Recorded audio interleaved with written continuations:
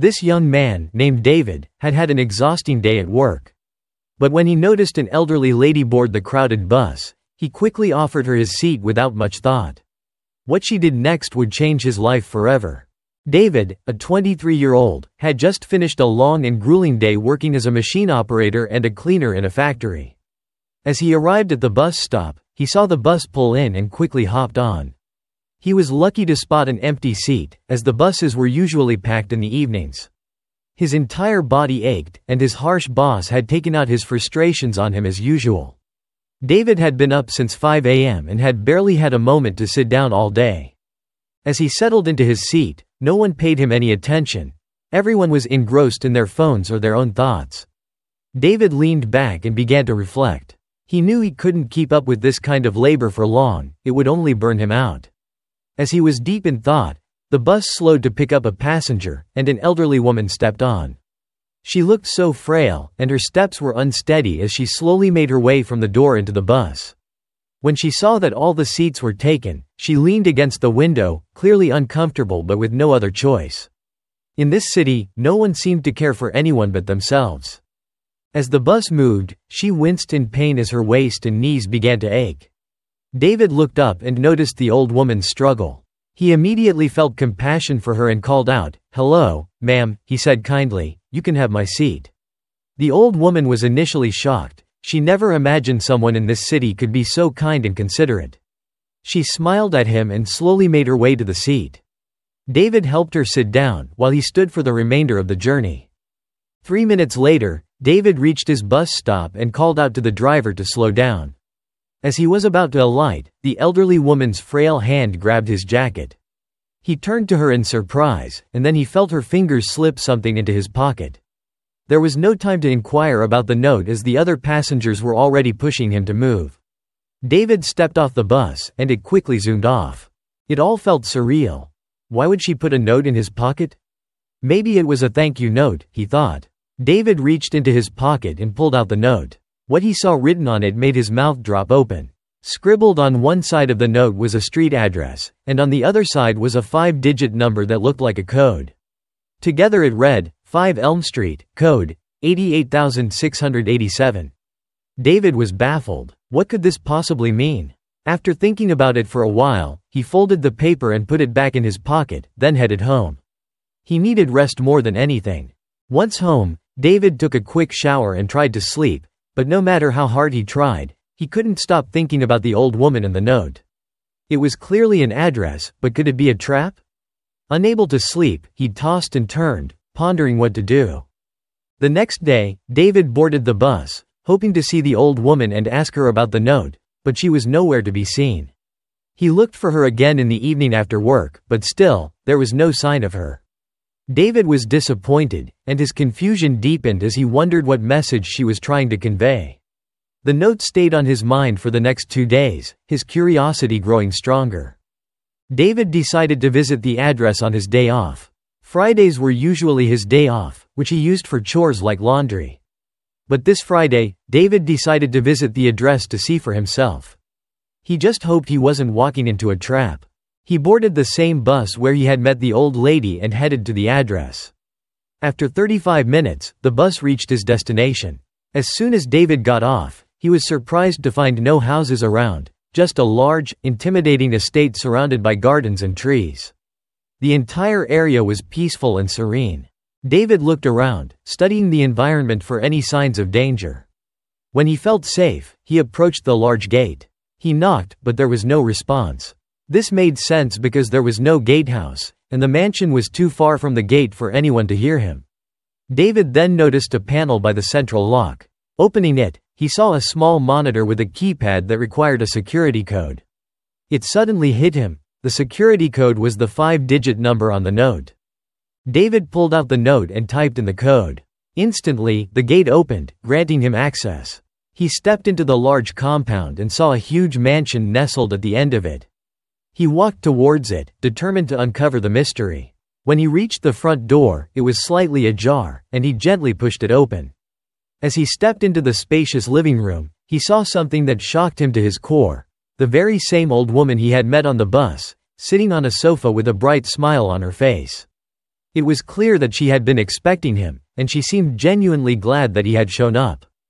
David had many questions, and the woman introduced herself as Vivian. David was eager to know why she had led him there. First, Vivian thanked David for helping her on the bus. She explained that she had gone for a medical checkup that day and couldn't get a cab, which was why she had taken the bus. The old lady offered David a drink, but he wasn't interested. He just wanted to know why she had brought him there. Vivian cleared her throat, maintaining an air of suspense. David, on the other hand, felt uneasy and wished she would just get to the point. Finally, Vivian took a deep breath and explained that she needed a caretaker. She was sick, and at her age, she could barely manage the large house on her own. Her health was worsening daily, and she needed someone to take care of her. To show that she was serious, she disclosed the pay, and David was shocked. It was six times what he earned at his former job. This was a dream come true. Suddenly, all of David's worries seemed to disappear. He immediately accepted the job offer, and Vivian was pleased. Over the past four years, she had hired seven caretakers. Most of them stole from her, while others grew tired of the job and left. But she knew she could trust David, who had proven himself to be a kind and compassionate soul. David asked for a few days to take care of some personal matters before starting work, and Vivian agreed. David stepped out of the mansion with mixed feelings. He thought about his new job and the challenges that would come with it. He wondered why an old woman would choose to live alone in such a big house. At the same time, Vivian seemed to be a cheerful and kind person, and he was sure he would enjoy the job. David went to the factory and submitted his resignation letter. His boss was shocked by his decision, but when he saw that David's mind was made up, he offered to double his pay. This shocked David, as his boss had belittled and yelled at him for years. It turned out that his boss had taken out his anger on David because he knew David needed the job and wouldn't quit, but he also knew that David was a hard worker who would be difficult to replace. However, David had already made up his mind and politely declined the offer. Two days later, David started work at Vivian's house. His job wasn't difficult, all he had to do was make breakfast for Vivian, ensure she took her medication, prepare her bath, do the laundry, and clean the house.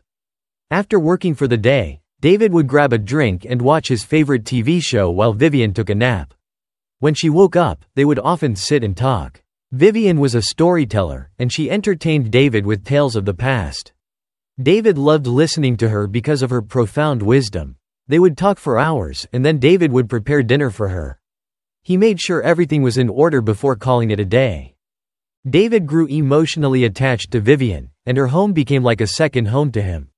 He began to view taking care of Vivian not just as a job, but as a responsibility. Vivian loved Scotch eggs, and David would make them for her every morning. He did everything she needed without complaint and was always polite and kind. As the days passed, Vivian became weaker. She could barely walk 10 steps before becoming short of breath. David was always by her side to help her. He would read newspapers to her, and they would watch operas on TV. One morning, as David entered the sitting room with some pastries he had bought as a surprise for Vivian, he was shocked to see her struggling to breathe. It was a terrifying sight. In a panic, David grabbed the phone and dialed emergency services. Fifteen minutes later, an ambulance arrived, and they rushed Vivian to the hospital. She was put on several IV fluids, and the doctors prescribed some medication. David was relieved that he had come earlier that morning, it was sheer luck. He stood by Vivian's side, holding her hand and praying for her recovery. Twenty minutes later, Vivian woke up. She looked up at David and smiled, thanking him for being there for her. David insisted that he was just doing his job, but deep down, he knew it was more than that. Vivian was discharged that evening, and they took a cab home. Once home, David prepared scrambled eggs for her and helped her get into bed, making sure she was comfortable before bidding her good night. But the morning's incident still haunted him, and he didn't want to leave anything to chance. There were three spare bedrooms in the mansion, and he decided to sleep in one of them. Little did he know the consequences of that choice. A few minutes after midnight, David was awakened by a strange noise. He got up and checked on Vivian, but she was sound asleep. Satisfied, David headed back to his room, but to his surprise, he heard the noise again. This time, it sounded like someone was trying to pick a lock. But David dismissed the thought. The fence was high enough to deter intruders, and the gate was locked with a password, making it difficult to break in. David wasn't too worried and went back to bed. A few minutes later, he was awakened by a sharp scream. He jumped out of bed and ran to Vivian's room, where he saw a shocking scene. A masked man with a gun was demanding money and jewelry from Vivian. David's first thought was that Vivian was too frail to handle such trauma, and he quickly sprang into action. Having grown up doing physically demanding jobs, David's reflexes were sharp. He quickly disarmed the intruder, and the weapon fell to the ground. The intruder was shocked to see David, as he believed the old woman lived alone. He hadn't even seen David until he was disarmed. Realizing he needed to escape, the intruder pulled out a small knife and, before David could react, stabbed him in the stomach before jumping out the window. The knife was small, but the wound was serious, and David needed urgent medical care. When emergency services arrived, David was taken to the hospital. During his hospital stay, Vivian stayed by his bedside, showing unwavering loyalty. If David could take a knife for her, it meant he would do anything for her. The doctors treated his wounds, and when David was discharged, Vivian suggested he rest at home for a few days before returning to work. But David wouldn't hear of it. He couldn't leave her alone, not after what had happened. David resumed work and continued taking care of Vivian. They had many deep conversations, and Vivian learned about David's family. His father had passed away, and he only had his mother and a little sister, who lived in another city. His mother had been diagnosed with leukemia and needed a bone marrow transplant, but they didn't have enough money to cover the cost. When Vivian heard this, she assured David that everything would be fine. She told him he had a promising future and shouldn't worry. Over the next month, Vivian's health deteriorated further, and she was no longer responding to medication. David called an ambulance, and Vivian was admitted to the hospital. The doctors did everything they could, but her condition worsened. Despite the doctors seeing no hope, David didn't lose faith. He was a firm believer in miracles and couldn't afford to lose Vivian. They had built an unbreakable bond, and he begged her to fight for her life, holding her hand and urging her to stay strong. As Vivian lay in her hospital bed, too weak to move, she reflected on her life with deep gratitude. David had been one of the best people to come into her life in recent years, and she was thankful for the universe's gift during her final days. As dusk approached, Vivian again urged David to go home, but he refused. Vivian wanted him to return to his mother, but David insisted on staying by her side. His mother would be fine, but he needed to be there for Vivian. David stayed with her all night, listening to her voice, which by now was barely a whisper. She kept thanking him for everything until she fell silent a few hours before dawn. At the same moment, the heart monitor stopped beeping. David screamed, refusing to believe what was happening. When the doctor came in, David begged him to resuscitate Vivian, but the doctor confirmed her passing at 4:20 a.m. As her body was prepared for burial, David was in shock. His benefactor had died, but worse, his dear friend had passed. He had come to love Vivian like the grandmother he never had. His heart raced, and he nearly had a heart attack. Tears streamed down his face as he trembled with grief. He cried so much that his eyes became sore, and he lost his voice. When he returned home, he couldn't sleep, wishing life wasn't so cruel. Moving on was hard, but he knew he had to. He spent three days indoors, grieving. His mother, who had heard the news, came to comfort him. A week later, Vivian was buried in a cemetery. David stared at the tombstone one last time. You will always be in my heart, David said softly. He returned home and started looking for a new job. A few weeks later, there was a knock on his door. Three men in expensive suits were standing outside. David was confused and slightly wary. One of them stepped forward, introducing himself as Vivian's attorney, and then said the most shocking thing David had ever heard. Vivian had willed all her estates and business investments to him. David was in deep shock and thought it was a joke, but the attorney handed him a document. As David read through it, his mouth dropped open in disbelief. Vivian had been a millionaire with shares in top companies. She had built her wealth through hard work, starting her business when she was just 30 years old. She had never married and had put her energy into growing her empire. When she was 40, she started a foundation for children and supported several charities. A few weeks before her death, after David saved her life from the intruder, Vivian informed her attorney to pass her wealth on to David after her passing. David was now a millionaire. David was deeply touched and honored to have been blessed by Vivian just for taking care of her.